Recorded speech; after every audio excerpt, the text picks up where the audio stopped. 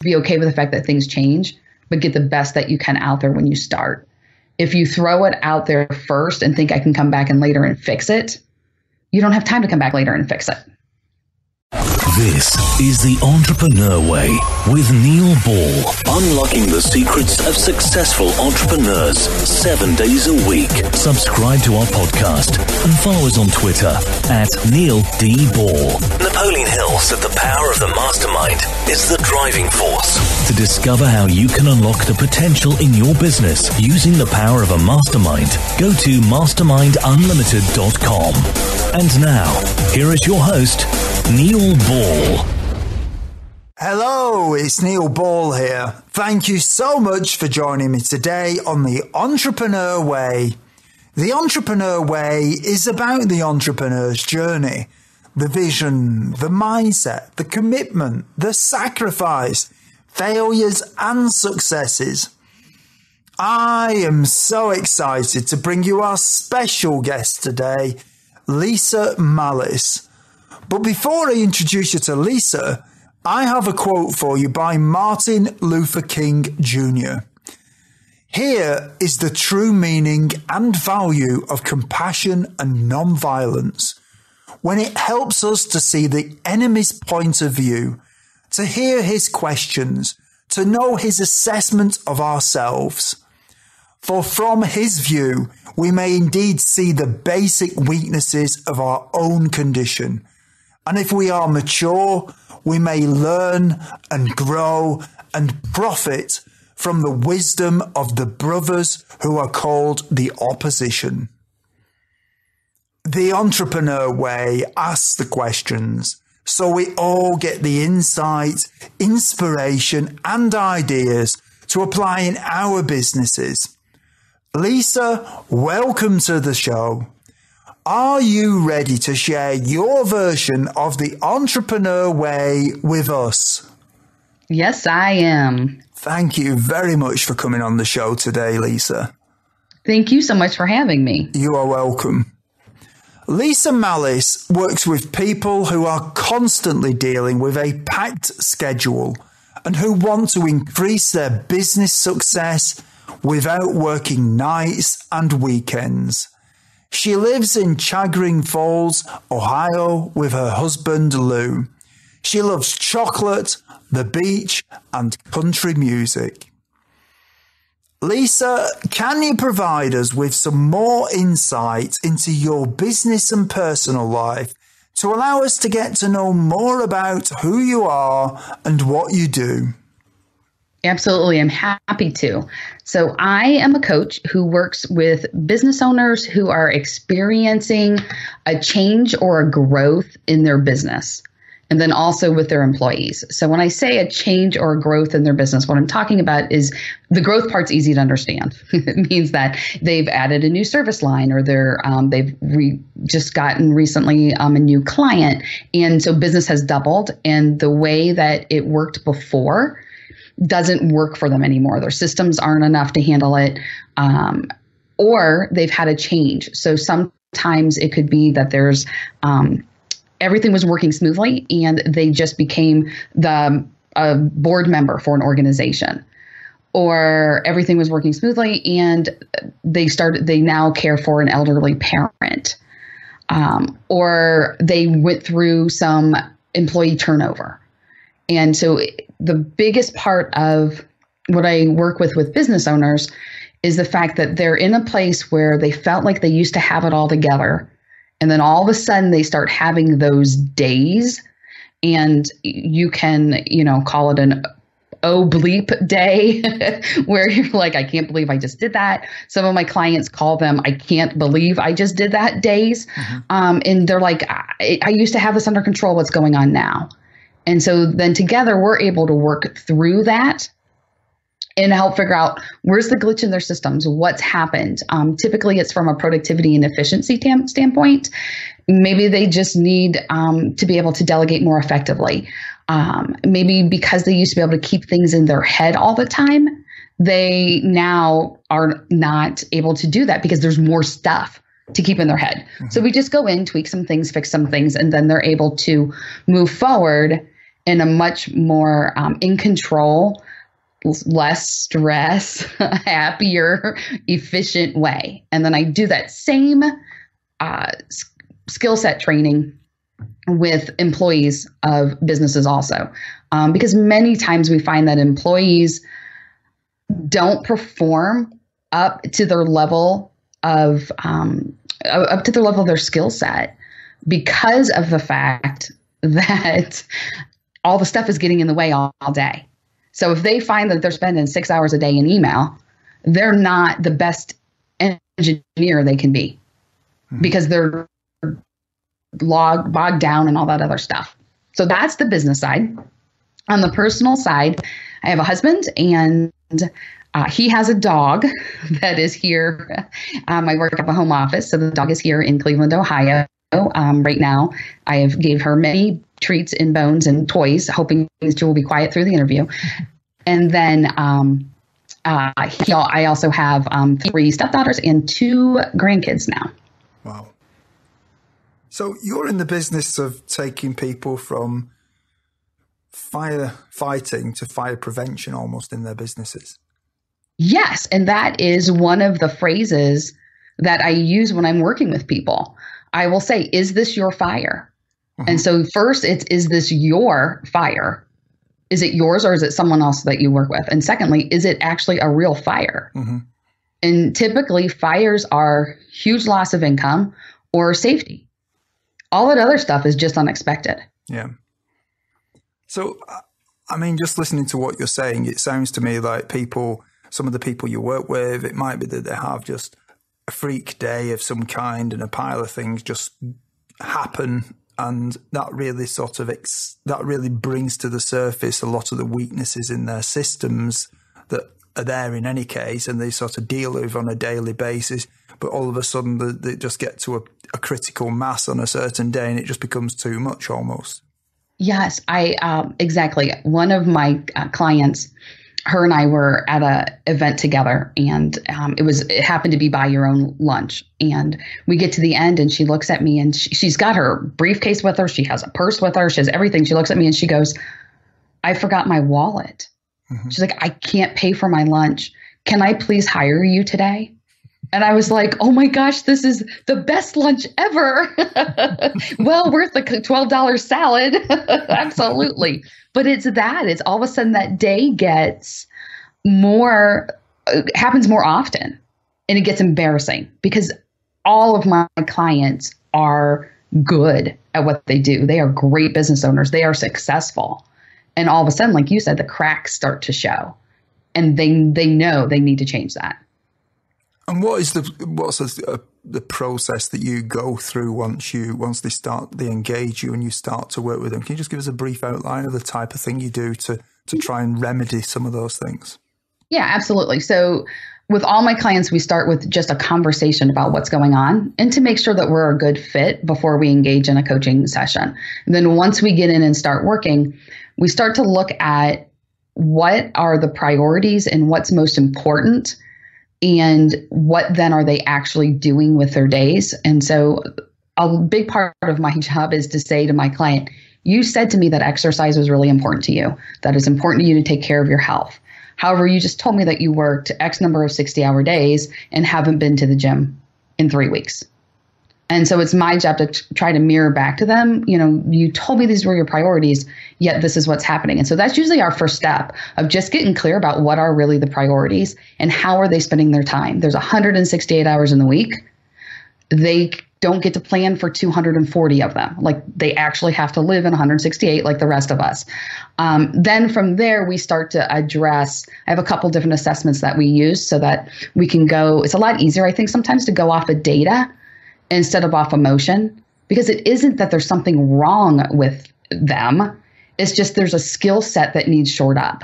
And using assessments helps that. It takes off the I'm a failure type of a thing. And then from there, we just address, you know, what is it? Is it delegating? Is it task tracking? Is it visioning? Um, whatever it may be. And then we just work through that process um, until we start to feel confident that they can move forward. What do you enjoy most about what you do? I love the fact that on a business side, that every day is different. Um, I came from a career in high school education. And as a teacher, I knew that the content was going to be different every day, that the kids were going to be different every day. Um, and I love that. I love that I have the flexibility. My husband is still in education. And so I flex my hours in the summer so that I spend more time with him when he's home. And I love that I have the ability to do that because I've built a business that allows me that flexibility. And how did you how did you get into the business that you're in now, Lisa? What's the story behind that? I um, I, I, am a um, true example of the phrase just because you're good at something doesn't mean that that's what you should do for the rest of your life. Mm-hmm. so I it was very strong in math. I got my degree in math. I left college, had no idea what to do with it, so I became a teacher. Like those decisions were all like, well, okay, I guess I'll do this. Okay, I guess I'll do that. And so I'm in education and realize I don't want to spend 30 years in education, even though I'm very good in the classroom. And so I said, well, I'll become an administrator. So then I became an athletic director in charge of all of our coaches and athletes. And I realized that even though I'm really good at it, I don't want to do this for the rest of my life. Um, I want to have more control over um, what I do, what those results look like. And so, um, also along that path, I recognize that left to my own devices, I will work from the moment I get up until I fall asleep exhausted at the end of the day. Mm-hmm. And that's not healthy. And so I hit a health crisis and recognized that I either needed to say this was my new life, I was just always going to be tired and sick, or I needed to change something. And it's hard to change who you are at your core because I'm a worker. That's who I am. Um, and so I started to build some structures for myself and figuring out how can I work and live to a place where I can be healthy and focus on me because there's more to life than work. And so at that point, I was like, okay, you're hitting crunch time now. What is it you're going to do with the rest of your life? because it wasn't going to be education. I knew that I didn't have the passion for it, and I didn't, um, especially in administration, I couldn't um, force myself to go home unless all the work was done. And so then at that point, I was fortunate enough that I had a number of people in my life who reached out and asked me to help them in things that were all very similar. And I started to recognize hey, this skill set of being able to see order through chaos, that's not something everyone can do. That's a marketable skill set. And then I decided to go back to school, become a certified coach, and then open my business from there. So, what drives you to do what you do? It is absolutely positively that light bulb moment that I see with clients. Mm-hmm. Um, part of that was what I was getting from education, like being able to explain it and see the kid go, "Oh, I got it."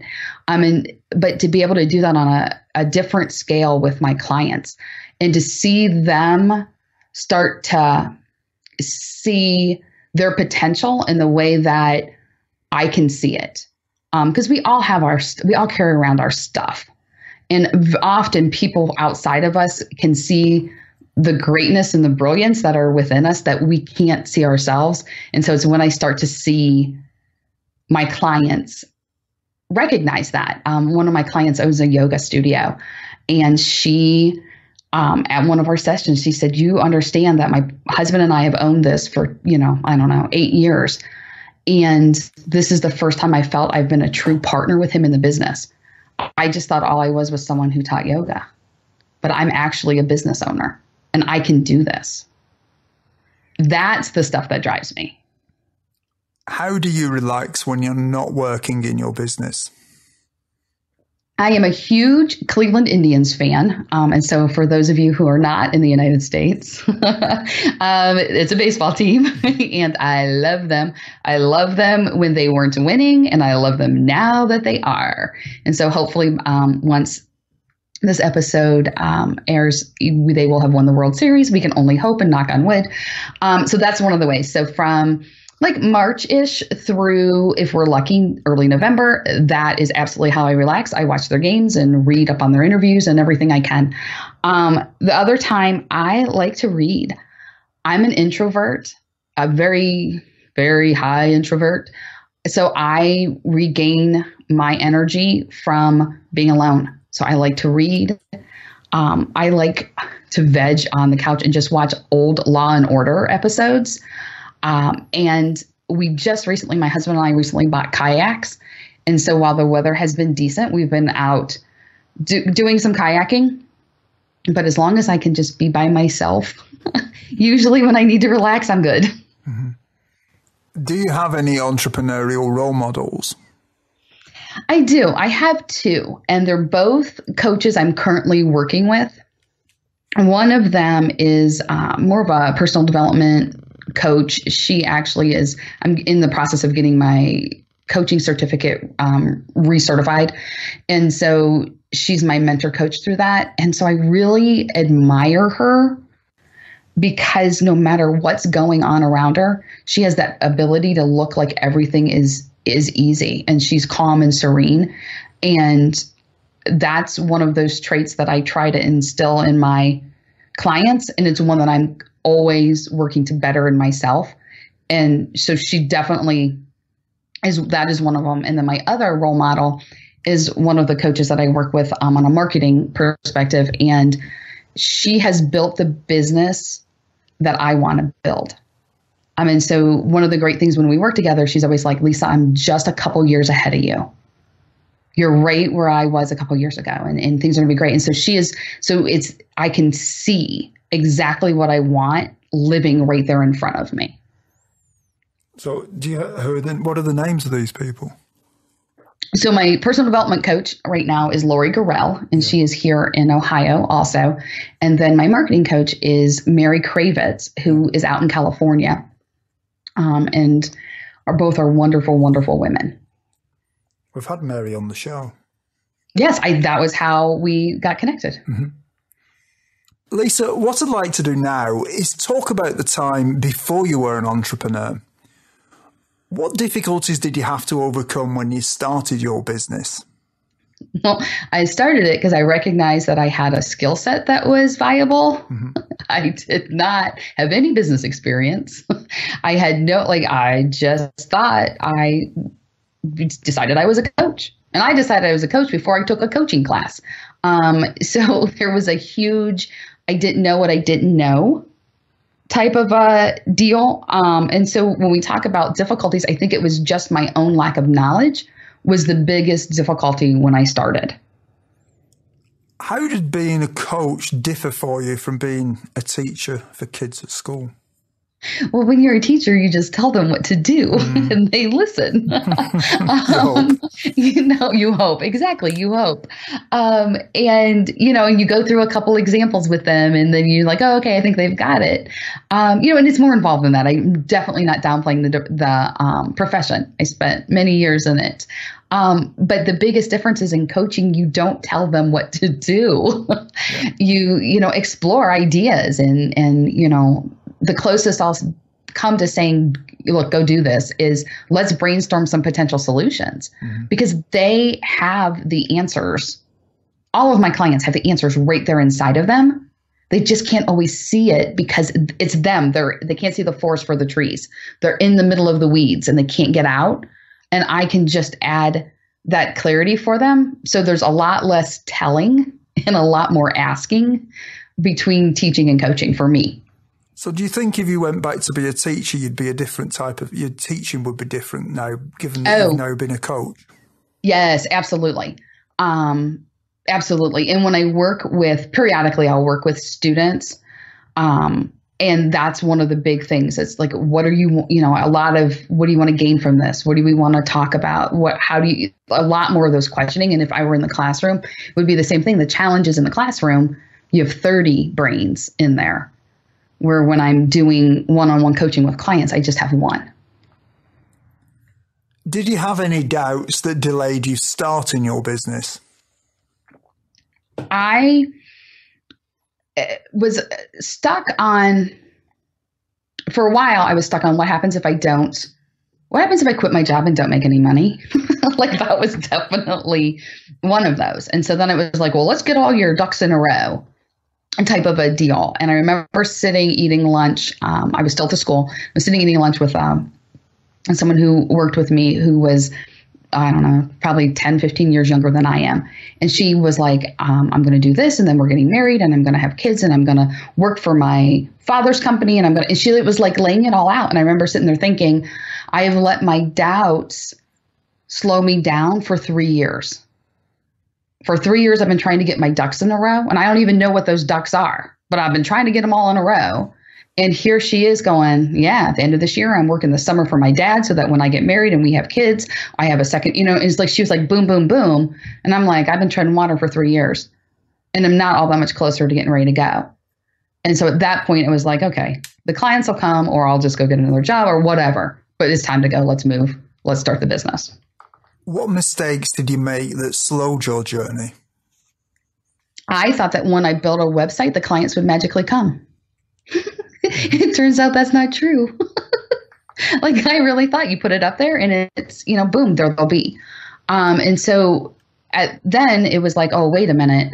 I I threw up a website without even knowing what who's my target audience. What are the services I'm actually providing? Like you would look at it and it, things were all over the place. And so then at that point, I had to redo everything. And I know as an entrepreneur, things change and you have to redo things along the way. Um, but because I didn't have a clear enough picture of where I was, like the first couple years were hard. they were really hard. What are some of the things that you did before you started your business that would be helpful tips to some of the listeners who haven't yet taken the first step on the entrepreneur way? So, one of the things that I did was I actually transitioned um, from my current job to my new business by taking some of the work that I was doing for them at the time and um, contracting that through my company. So at least I had a client when I first started, um, even though I was doing very similar work. It was I was just being paid differently, and so I, for a mindset piece, that was big for me. And then um, I also once I like I didn't know what I didn't know, but I started to ask and I started to get some advice from people. Um, and I think the other part to that question is just that I didn't know then, but for people who are listening now, is be okay with the fact that things change, but get the best that you can out there when you start. If you throw it out there first and think I can come back and later and fix it, you don't have time to come back later and fix it. Lisa, what I'd like to do now is just talk about the entrepreneurial journey a little bit more with you. Do you think culture is important from the beginning in a business? I do. Uh, a lot of my uh, work in education came in um, through uh, Catholic schools. And so I definitely have that um, servant leadership uh, background. And so I think when I think of culture in my business, I think about okay, how would I want people to treat me? And then how do I want and, then let's behave that way and how do I want everyone that I come into contact to feel? You know, it's important that all of my clients think that they're my only client. And they're not, but it's important to me that they feel that way.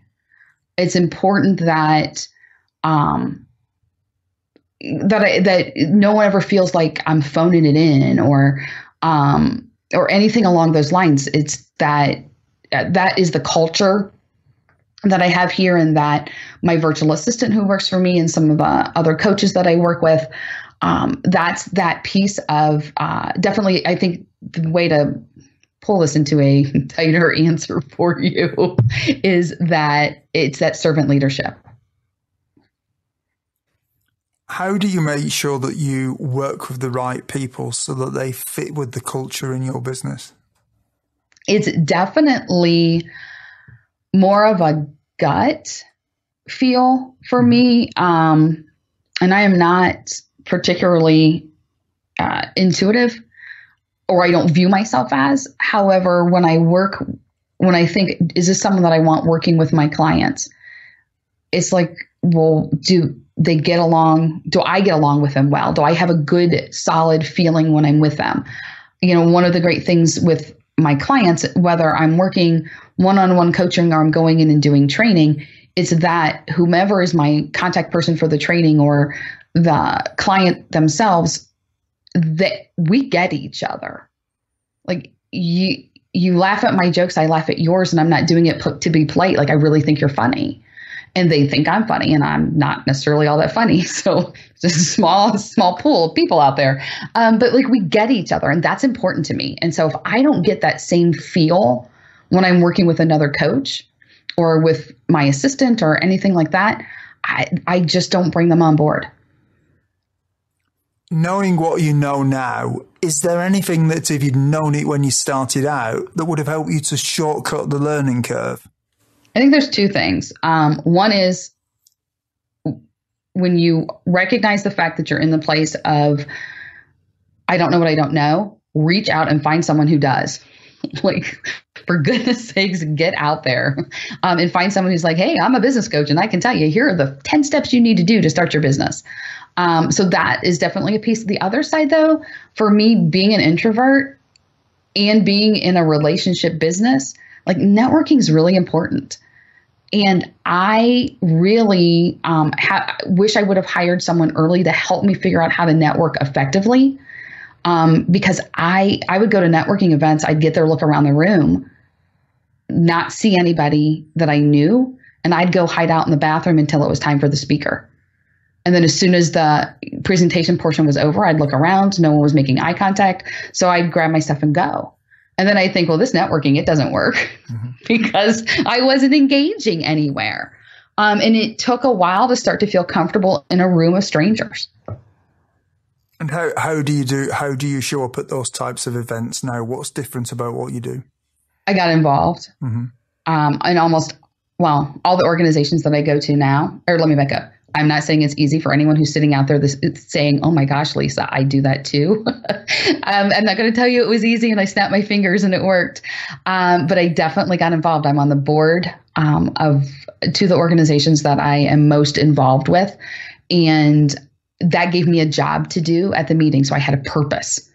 And then, then I was more comfortable because I didn't have to feel like I needed to create um, small talk up front before I started to know people. Because I like what do you only so many times you can say how's the weather? You know we all live here. We know how the weather is. Um so you know so that was the thing. Getting involved was the biggest thing that I did. And then I went to workshops. You know I worked with Lori on you know power pose which is an Amy Cuddy um, TED talk about how to how to stand and how to present yourself so that you feel more confident um, and it just and it's still hard like I will still pull in and think oh who am I going to talk to? And then I think, let it go. There'll be people in there that you know, know no one. Talk to them first, and you'll start to feel comfortable. How much does gut feeling influence your decisions in your business? So, part of it is um, i think the place where gut comes in the most is is the people portion so like part of it was you know what coaches do i want to work with and and pieces like that but it's also on clients when I'm speaking with a client, do I have that feeling like, yeah, this is going to go the way I want? Or do I get those red flags that I think, oh, I'll just ignore those? Because there's all these other check, you know, all these other um, boxes are checked, but there's that one red flag. And every time I've, every time I've ignored the red flag because all the boxes are checked, I've come to regret it. So, what makes you uncomfortable as an entrepreneur? Um, on a coaching side, it's the uh, is talking with a potential client and getting the feeling that um, I'm going to be their answer and fix them. Uh, because I can only help show the path, but the work happens on their side.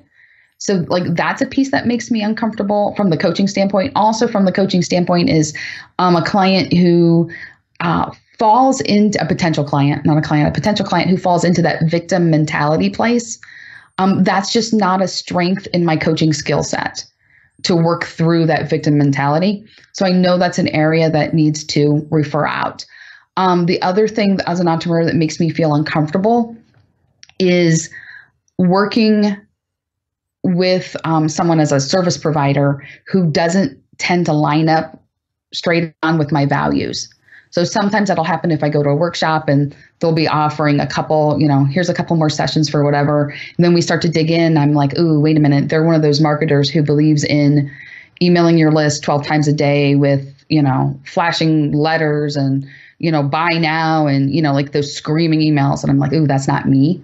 Mm-hmm. Um, so then there's like that mismatch on how we feel uh, and how we work together as um, to present what what our vision is. And so that makes me uncomfortable. And what do you think are some of the secrets to success?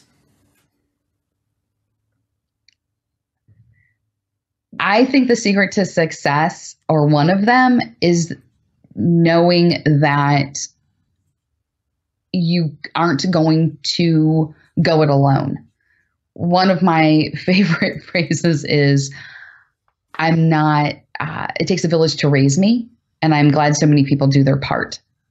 You know, at any time I'm working with at least two different coaches, um, co- I believe coaches need coaches too. But then I also have, you know, a, a support staff here. Um, my family is very engaged. Uh, knowing that, you know, the boards that I sit on or the organizations I'm with, knowing that I could reach out to any of them um, to bounce ideas off of. You know, one of the things about being a solopreneur or small business owner or entrepreneur that is in a more isolated field, sometimes the only person you have to bounce things off of is yourself. And that does not get to be a great conversation. Um, and so knowing that um, one of those keys to success is knowing that you have people out there who can um, and will help you as you work through your journey. Life is made of constant change, whether we like it or not. And many people say that the only constant in life is change. Lisa, how do you try to keep up with change? One of the ways is to make sure that I'm involved in professional organizations. So I'm a member of NAWBO, which is the National Association of Women Business Owners.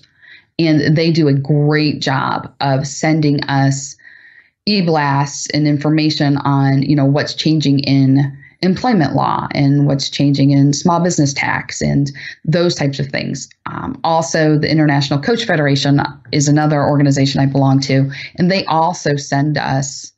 Um, a lot of information about what's changing in the coaching industry. What are some of the new um, styles and new strategies and new things that you can learn? And so, one of those things that I know that I'm getting a great influx of information from the business owner standpoint and then also from the skill set standpoint. And I just make sure that I dedicate the time to read.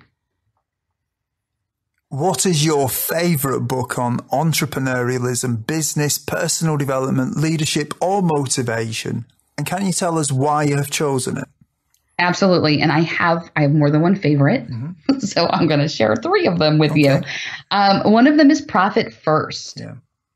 I and I really really enjoyed that book because it gave me the structure to help me think about the finances of the business.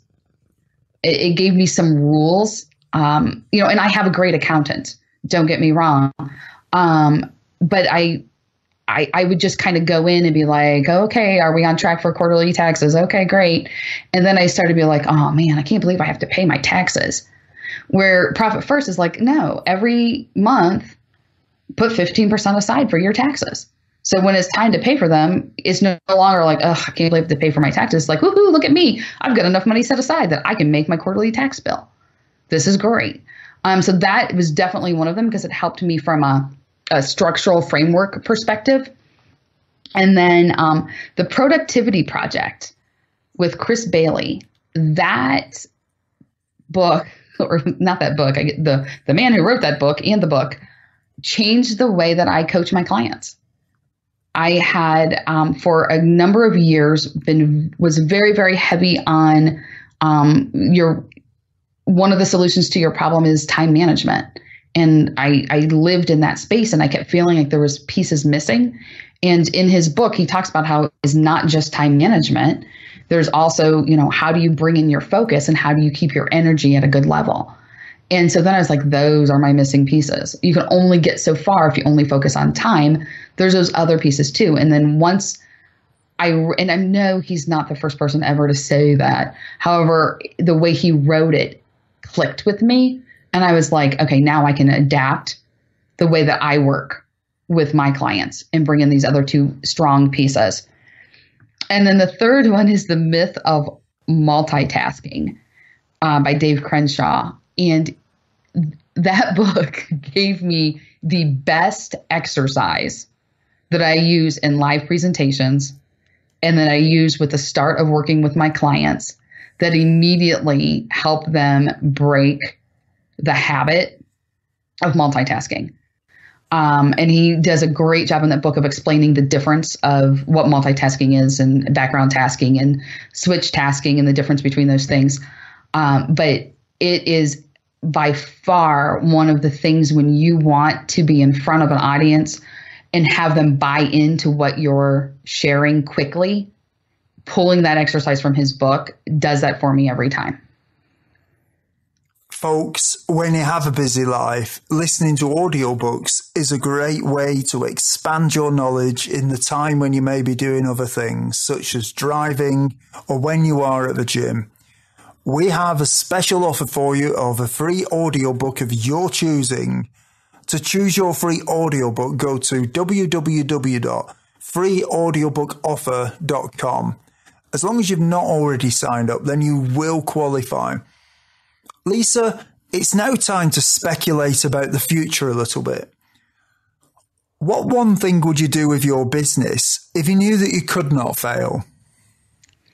And this is a really interesting question for me because um, when I first thought about it, I thought, okay, well, I'm not really, you know, I'm not really looking to um, necessarily expand, you know, offices in different places and things like that. So I started to think about what are those things that I tried that have not worked in the past that I would want to work if I tried them again. And so it's definitely a place of where, what is it that I want um, that I'm so frustrated by that I can't make work. that if I knew I couldn't fail, I'd be like, yes, I'm willing to put forth the effort and the um, energy uh, into it. And it is um, investing in coaching to help build a solid, strategic online funnel. Uh, one of my goals is to, as my as my coaching business progresses is to work with clients in the middle of the week, Tuesday, Wednesday, Thursday, and not need to do a lot of the other in person marketing activities I'm currently doing to build my business. And knowing that if I had a strong online, strong and strategic online presence, that would absolutely be the place. If I knew I couldn't fail doing that, I would invest my energy and time and money back into that effort. What skill, if you were excellent at it, would help you the most to double your business? Probably small talk mm-hmm. and making connections, meaningful connections with people uh, quicker. Um, like I shared, you know, a networking meeting is my idea of absolute horrible, horrible things. Um, but knowing that people do business with people they like, know, and trust, people need to get to know me. And the best way to do that is not to go in feeling so uptight and are they looking at me? Will they talk to me? Like all that like middle school stuff.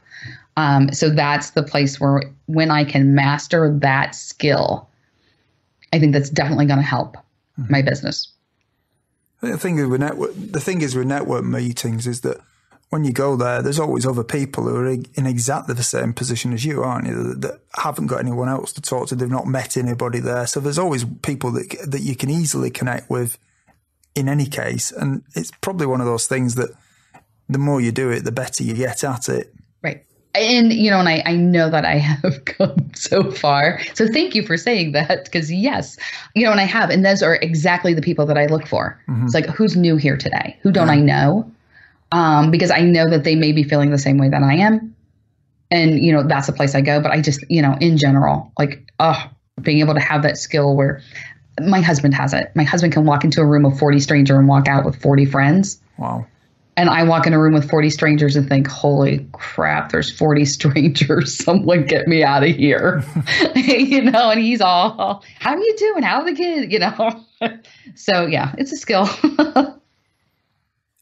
In five years from now, if a well known business publication was publishing an article on your business after talking to your customers and suppliers, what would you like it to say? I would like the theme to be something along the lines of she helped me see I could do it. Because that's what drives me is being a part of someone's journey when they go from where they are to a place that they didn't even know they could get to.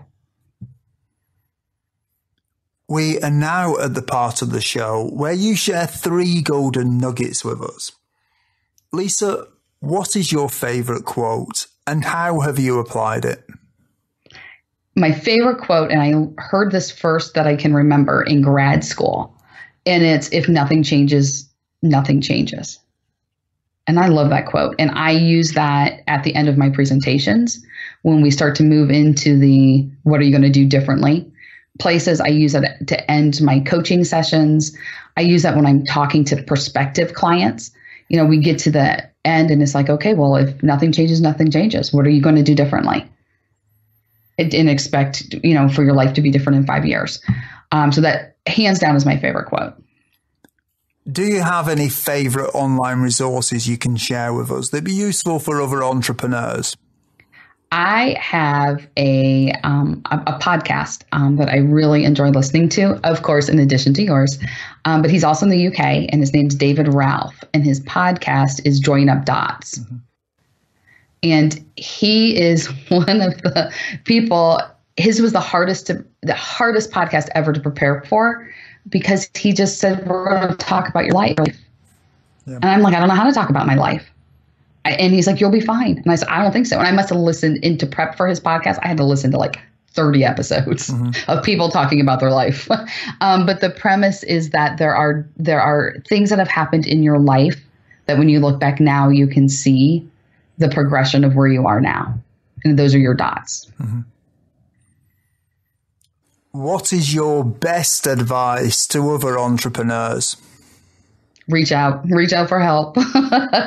when you're in that place, if I don't know what I don't know, get out and help some, have someone help you find what it is you don't know. When you get to a place where you know what you don't know and it's time to up level your skill set, reach out for someone to help up level that. Find a mentor. You know, one of the great things for me is looking at Mary's business and thinking, a couple years, I'm going to be right there because I'm on that path. Um, and you know, she's happy and willing to share strategies. Folks, if you didn't manage to get a note of Lisa's favourite resource or her favourite books, you can find the links on Lisa's shows and the show notes page. Just go to theentrepreneursway.com and search for Lisa or Lisa Mallis in the search box. Lisa, is there anything else that you'd like to add about your business? I feel like we've covered it all. Thank you. Lisa, it really has been an honor having you on the show today. Thank you for coming on and talking about your transition and your journey from being a teacher to being a coach, and also talking about your business of Impactive Strategies and how you help other business owners get much more organized and get some of their lives back. You've shared some great perspective with us today. You've shared some of what you've learned. You've given us great advice and you really have given us some great value today. So thank you very much for coming on the show. Thank you so much for allowing me the opportunity to talk